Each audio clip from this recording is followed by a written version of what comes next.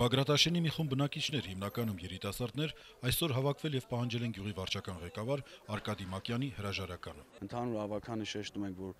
ներսի հարցերից տեղյակ ենք դրա համար ենք շեշտում հավաքանի, որպես այս գյուղի ապրող տղա, ես չեմ ուզում, որ մեր գյուղում sense բացի թողած վիճակը լինի։ Արկադի Մակյանը 8 տարի Բագրատաշենի գյուղապետն է եղել, ավելի վաղ դպրոցի տնօրենը։ Ասում է գյուղի բոլոր խնդիրները ցուցակագրված են, ծրագրերը կան եւ շուտով կսկսվեն դրանց կարգավորումները։ Համանքում հիմնական իրանց դժգոհության պատճառը փողոցային լուսավորվածությունը մոտ 20-25% գյուղում բացակայում է իրանց էտա բացակայում մեկ էլ խմելու ջրի հարցն է որ ջրաչափերը արդեն ծրագիրը կատարված է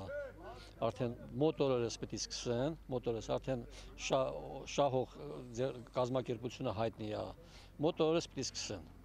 Ուրեմն մեկ էլ ճանապարհների վատ վիճակի հարցն է, որոնք մեղադրում են ինձ, որ չես աշխատում։ Բողոքի ակցիային հնչեցվել են նաև այլ մեղադրանքներ ու պահանջներ։ Ինքը Ադրբեջանից եկած է ու արդեն տեղացի ու փախստականի մոմենտ էլի։ Ինչ հարցը մոդիկանում է, ինքը արդեն ոնց որ տեղացոնց հեչանում իրանց ժողովրդին Արմո Գաբրելյանին դուրս չի գալիս գյուղական վերջին անցուդարձը։ Վստահ է, միջև չլուծվի համայնքների վերաբաժանման խնդիրը եւ օրենք չընդունվի համայնքի ղեկավարների պարտադիր բարձրագույն կրթություն ունենալու կամ լիցենզավորվելու մասին, գյուղում ամեն ոք աչք է դնելու համայնքապետի կամ վարչապետի ղեկավարի աթոռին 30-40 մարդ հավաքելով իր շուրջը։ Ժամանակին դիմել եմ Պապիկյանին նոյեմբերանում ասելով ստորագրահավեք բերեք, դա մենք որպես օրենքի նախագիծ մտցնենք նոր ազգային ժողով, որովհետեւ այդ պրոցեդուրան պետք է գնա 2 տարի միջև դա նոր մենք ժողովենք համայնք համայնք խոշացած դուրս գանք, որպեսզի մենք նոր գյուղապետ տրվենք։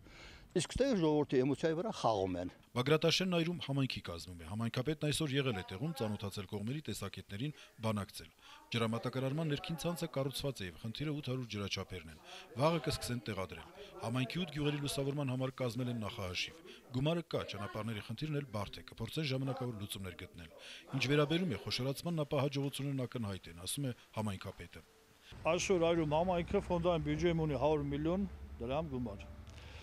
Իսկ Բագրատաշեն համայնքը խոշորացման ժամանակ ունեցել ընդամենը 12000 դրամ գումար։ Ինչ եք պատկերացնում նորմալ է դա, որ տվալ բնակավայրը պահանջի, որ ասեն խոշորացան թակարակ։ Այսօր խոշորացման արդյունքում համակի վիճակը սուբվենցիոն ծրագրեր իրականացնի։ Քանի որ ծրագրերը որ պետությունը մասնակցում է ծրագրին, Վաղն ավելի մեծ կազմով Բագրատաշենում քննարկում կլինի շահագրգիռ մարդկանց մասնակցությամբ։ Հրաչապապինյան, Մերիկոլյան, Արման Տիտանյան, լուրեր